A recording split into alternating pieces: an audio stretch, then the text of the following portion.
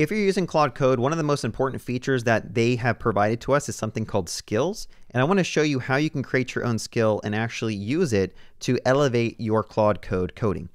So a skill is basically a directory that has a skill.md file. And that skill.md file basically has a description of when the LLM should kick in and use it. And it does something called progressive disclosure. So if the LLM doesn't know how to do something, it first looks at all your skills that are set up in your Claude folder, and it looks through these skill.md files. And then these skill.md files can point to more documentation, can point to different scripts, and really teach Claude Code how to run different things. And I think the best way to show you what a Claude skill is, is let's actually just build one. Let's try to see if we can build one live together on this channel, and maybe you guys can learn about it. So over here, I'm gonna go ahead and just ask Composer One to build us out a really simple skill. And what I want to do in this skill is I want to allow me to tell Claude Code to scale down a video. I want to scale down a video using FFmpeg from 1080p down to like 720p and also 4 was it 440p or something like that. Now the way I like to code is doing iterative coding. Some people like doing huge plans and waiting for 10 minutes for this to finish, but I'm gonna do iterative coding. I think it's more entertaining.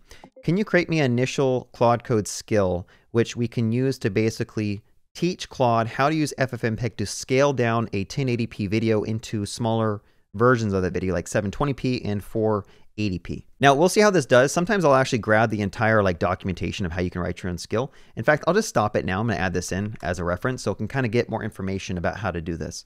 All right, so you see it's making a dot Claude folder. We have some skills. And inside of that, we have all the different skills of this project. You can install skills globally on your Claude like instance, or you can install it per, per project, right?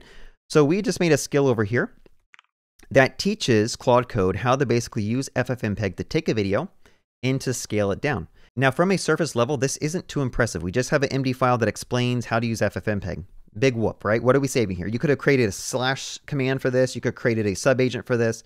Overall, like everything is just built around MD files and context at this point. A skill just allows Claude Code to basically dive into and start using it. Now, the cool thing about this is let's say you actually had some custom scripts here. Like let's make a scripts folder. And then I'm going to reprompt Composer to kind of split this down into using a progressive disclosure approach. And I'll kind of talk about it as well. Can you please break this skill MD file into using progressive disclosure? I want to keep this skill MD as slim as possible.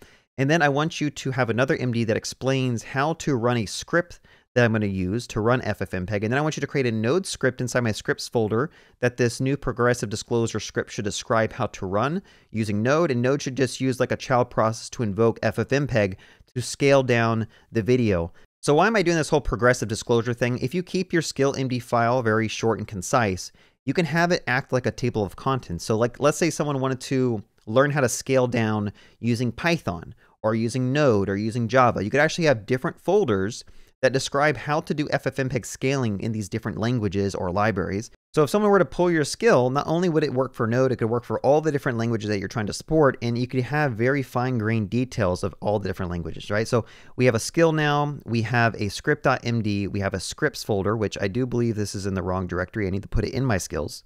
And notice here in the skill.md, it points to Node scripts scale video, all right? And so hopefully you'll know how to actually reference that. Now, granted, this might be a silly approach. I'm sure the models already know how to use FFmpeg, so like having generating a script might not be that important. But the point is, is that now you can teach Claude Code how to use particular scripts or runtimes or executables instead of it having to go and try to figure stuff out. Because as you've seen, sometimes it hallucinates, sometimes it gets stuff wrong, and you can actually have these skills be publishable to the internet. Other people can grab them and start running them. So now that we have the skill, I want to put an MP4 file here, and I'm going to go ahead and type in slash skills, and I want to show you that we have an FFmpeg video scaling skill, right? And so what I could do is I could prompt Claude Code, use the FFmpeg video scaling skill to scale down the one MP4 file I have in my directory into its smaller resolution equivalents. And then I'll go ahead and kick off this prompt. And now you should see that it's going to actually engage my skill. And then it's going to use that skill MD file to dive into how it can use these scripts, and then it's going to figure out that I'm going to use Node probably, and then it's going to actually run my Node script. It's going to learn how to run the Node script. It's going to pass in my MP4 file to the script, and then hopefully after this we should actually see it list out all of our rendered lower resolution files. And now you can see here it's actually running Node against my skill. It's running my scalevideo.js file. It passed in the original input video, and now we're getting a 720p output. We should be getting a lower output, the 480 soon And there you have it. So that's how a skill kind of works. You have this directory that has a skill.md file that describes how it can reach into other things to do progressive disclosure, to really learn how to run the skill. And then you can have many different scripts. You can actually put CSV files in here. You can put data in here so that the skill can enact and engage different things when it needs it. And that's going to keep your context window small.